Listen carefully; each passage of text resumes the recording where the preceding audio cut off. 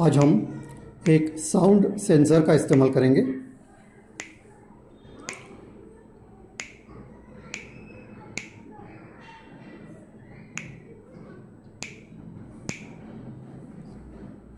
अगर आपने आर्डिनो का किट खरीदा होगा तो उस किट में आपको इस तरह का एक सेंसर दिखाई देगा। अगर आपके किट में इस तरह का सेंसर नहीं है तो आप उसे अमेज़ोन से डेढ़ सौ रुपये तक खरीद सकते हो। ये चार पिनों वाला सेंसर है। इसके अंदर डिजिटल आउटपुट और एनालॉग आउटपुट दोनों ही तरह के आउटपुट्स हमें मिलते हैं। तो ये दूसरे तरह के एक्सपेरिमेंट्स में भी हमें काम आ सकता है। इसके अलावा आपको तीन पिनों वाले साउंड सेंसर्स भी दिखाई देंगे, जिसमें केवल डिजिटल आउटपुट ही होता है। अगर आपके पास तीन पिनों वाला साउंड सेंसर है तो उसका बीच वाला पिन आउटपुट का होगा। इसके चार पिनों में लास्ट के जो दो पिन हैं, यानी कि दोनों साइड के दो दो पिन हैं, उनके ऊपर डी ओ और ए ओ लिखा हुआ आपको दिखाई देगा। डी ओ यानी डिजिटल आउटपुट और ए ओ यानी एनालॉग आउटपुट तो आज हम इस साउंड सेंसर का इस्तेमाल एक स्विच की तरह करने जा रहे हैं। जो ताली बजाने से ऑन या ऑफ़ होता है, इसके लिए हम इसके डिजिटल आउटपुट का इस्तेमाल करेंगे। इसके एनालॉग आउटपुट का इस्तेमाल हम किसी और एक्सपेरिमेंट में करेंगे। इस एक्सपेरिमेंट को करने के लिए हमें सबसे पहले इस सेंसर को कैलिब्रेट करना पड़ेगा, यानी कि इसकी सेंसिटिविटी को एडजस्ट करना पड़ेगा। अगर आप इस सेंसर को देखें तो इसके ऊपर आपको एक नीले रंग का छोटा सा स्क्वायर दिखाई देगा। ये एक पोटेंशियोमीटर है। पोटेंशियोमीटर के ऊपरी हिस्से में आपको एक छोटा सा स्क्रू जैसा दिखाई देगा। ये इस पोटेंशियोमीटर का नॉब है। इस नॉब को घुमाकर हम इसकी सेंसिटिविटी को एडजस्ट कर सकते हैं। तो इसकी सेंसिटिविटी को एडजस्ट करना, यानी इसको कैलिब्रेट करना हम इसे कहेंगे। इसके लिए हमें इस सेंसर को पावर सप्लाई से कनेक्ट करना पड़ेगा। तो इसकी जो बीच वाली दो पिन हैं, उनमें से एक पर प्लस लिखा हुआ है और दूसरे पर जी एन डी लिखा हुआ है। तो इन पिनों को हम आर्डिनो के पावर के पिनों से कनेक्ट करेंगे। इसके लिए हम male to female jumper wires का इस्तेमाल करेंगे।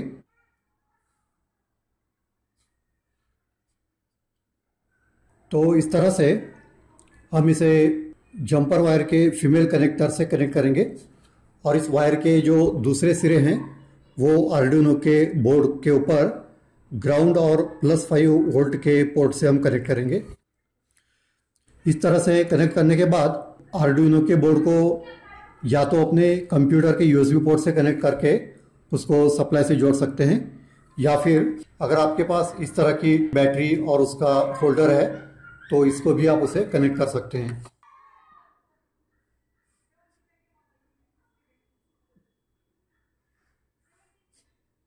तो जब आप इसे पहली बार कनेक्ट करोगे तो इसके ऊपर दो एलईडी जलती हुई आपको दिखाई देंगी।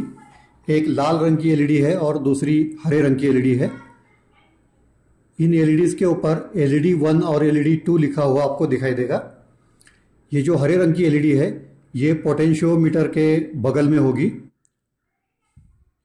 तो ये एलईडी जो है, हमको इस सेंसर की सेंसिटिविटी एडजस्ट करने के लिए एक पॉइंटर का काम करेगी। अगर हरे रंग की एलईडी जलती हुई आपको दिखाई देती है तो एक स्क्रू ड्राइवर ले लीजिए और उस स्क्रू ड्राइवर से इस पोटेंशियोमीटर का जो नॉब है ऊपर वाला, उस नॉब को हल्के से लेफ़्ट की ओर घुमाइए।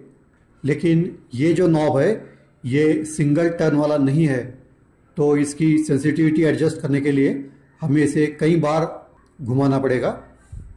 तो हो सकता है आपको 10 या 20 बार तक इस नॉब को लेफ़्ट की ओर घुमाना पड़ेगा। इस नॉब को आपको तब तक घुमाना है जब तक कि उसके नीचे की जो हरे रंग की एलईडी है, वो ऑफ़ ना हो जाए। जब ये हरे रंग की एलईडी ऑफ़ होती है तो ये इसका कट ऑफ़ पॉइंट होगा। जैसे ही हरे रंग की एलईडी ऑफ़ हो जाएगी तो रुक जाइएगा और फिर इस सेंसर के ऊपर जो मेटल का हिस्सा दिखता है हमें ये इसका माइक है। इसके सामने ताली बजा कर देखिए। तो जो हरे रंग की एलईडी है, उसके अंदर आपको फ्लिकर दिखाई देगा, यानी बहुत ही थोड़े समय के लिए एलईडी जलेगी, फिर बुझ जाएगी। अगर ताली बजाने पर भी एलईडी नहीं जलती है तो फिर दोबारा स्क्रू ड्राइवर लेकर इस पोटेशियोमीटर के नॉब को हल्के से दूसरी ओर, यानी राइट की ओर घुमाइए। तो यहाँ पर आपको बहुत ही फाइन ट्यूनिंग करनी पड़ेगी। तो आपके सेंसर का आपको ऐसा पॉइंट ढूंढना पड़ेगा जहाँ पर ताली की आवाज़ को ये सेंसर रेस्पॉन्ड करेगा। तो कुछ बार, कुछ समय तक आप इसके साथ एक्सपेरिमेंट करोगे तो इसका पॉइंट मिल जाएगा।